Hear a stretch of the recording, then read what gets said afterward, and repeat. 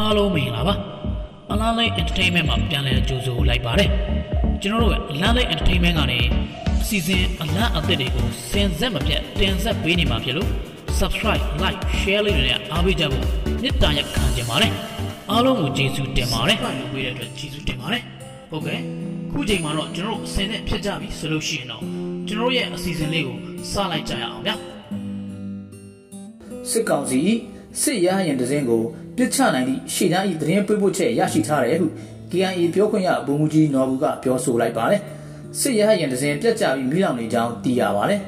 ကချင်ပြည်နယ်ဝိုင်းမော်မြို့နယ်နာဖော့စစ်တပ်စခန်းသို့ရိတ်ခါလာပို့သည့်စစ်တပ်ထောက်ဖို့ရဟရင်တစင်းကို KIA ကပြစ်ချလိုက်သည့်ရှေ့တန်းရင်းမြစ်၏သတင်းပေးပို့ချက်ရရှိထားကြောင်း KIA ပြောခွင့်ရဗိုလ်မှူးကြီးနော်ဘူးကပြောဆိုပါတယ်ဇန်နဝါရီလ3ရက်နေ့